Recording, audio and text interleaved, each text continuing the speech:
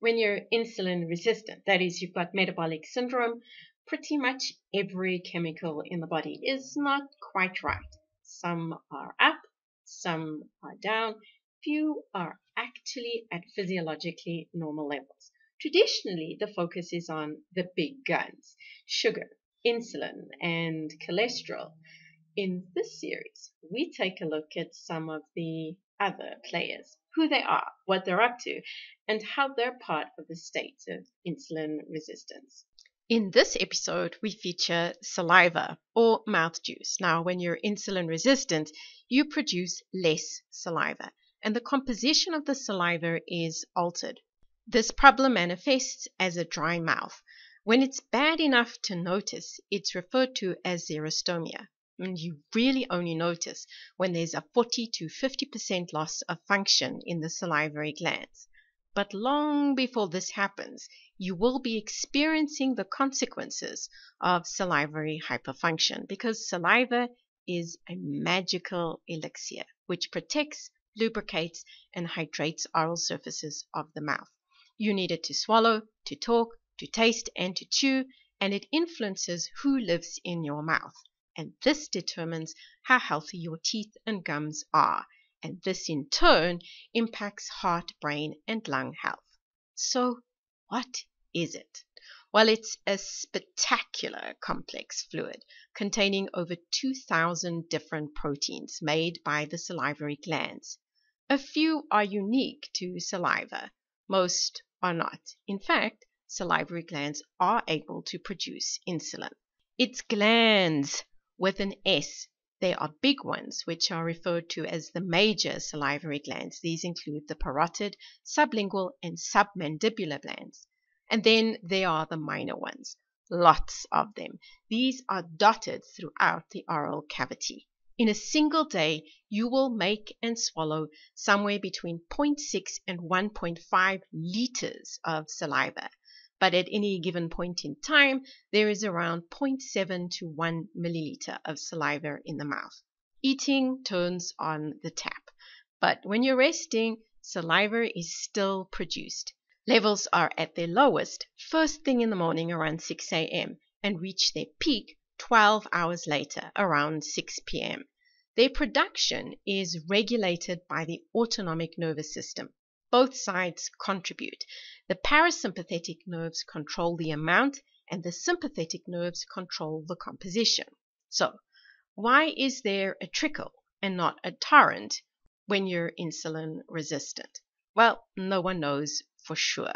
Saliva gland atrophy has been suggested. This is sparked by decreased nerve stimulation or poor microcirculation. In the case of insulin resistance, this is arising because of the hyperinsulinemia, and it differs from the atrophy that happens in Sjogren's syndrome, which is an autoimmune disease brought on when the immune system continuously takes pot shots at the salivary glands. In the case of insulin resistance, the worse your body chemistry, the bigger the problem. Initially, the troubles are due to microcirculation problems, and this manifests early Studies suggest overweight kids already have signs of salivary hypofunction. Poor glycemic control just takes things up a notch. As the excess sugar is cleared by the kidney, it takes body water with it, precipitating dehydration along with the neglect. Now, a dry mouth is not just a nuisance. It has serious health ramifications. It impacts teeth and gums, it hurts the mouth and leads to difficulties chewing, talking, and swallowing. So it is something that should be on your radar. Addressing the bad body chemistry is going to be the place to start.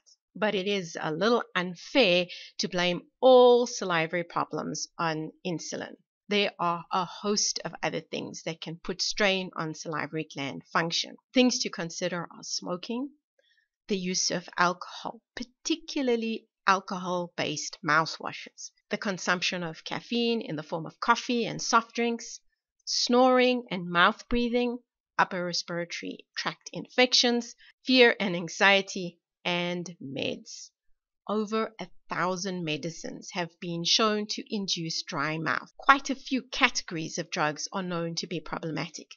The categories include antidepressants, antipsychotics, anticholinergics. These are drugs that are used to treat asthma, overactive bladder, Parkinson, among other things. Antihypertensives, antihistamines, sedatives, and antidiuretics. If you're taking a drug which is having a negative impact on your salivary function, discuss whether it would be possible to substitute or discontinue the medication with your doctor. Don't ever just stop any medical treatment you're on. What if you cannot prevent it? Are there ways to mitigate it? Well, the strongest stimulant for saliva production is chewing and mouth movement. Unfortunately, eating and drinking all the time has its own set of issues. Fortunately, there are other options, each with their own pros and cons. A technique with a lot of pros and only one con is to do the tongue hula, hula, hula hoop. To do it, you rotate your tongue around the edge of mouth slowly a couple of times, alternating between circling clockwise, then anticlockwise. The technique costs nothing and it works like gangbusters. Saliva levels increase by 25% and they stay elevated for a little while. The con? Well, you look a little stupid. So you might not want to do this one in public. But it's okay to do it next time you're prompted by your phone when you see the hula hoop signal. Use it as a cue to remind yourself to do the tongue hula. Other options to mitigate the effects of salivary gland hypofunction include staying adequately hydrated and using a humidifier. You can also use a sialagogue, which is a fancy name for a saliva substitute. These can be bought ready made, or you can make a homemade version. A more exotic option is electrostimulating. Mm, salivary pacemakers haven't gone mainstream just yet, but they are coming. Here are a few of the journal articles I've used to tell the saliva story. Saliva hypofunction is just one of hundreds of things in the body that are amiss when you're insulin resistant. Subscribe to our channel to learn more about some of the other players in our ups and downs of insulin resistance series. Thank you so much for watching and I'll see you next time. Remember, small things can make a big difference to your health.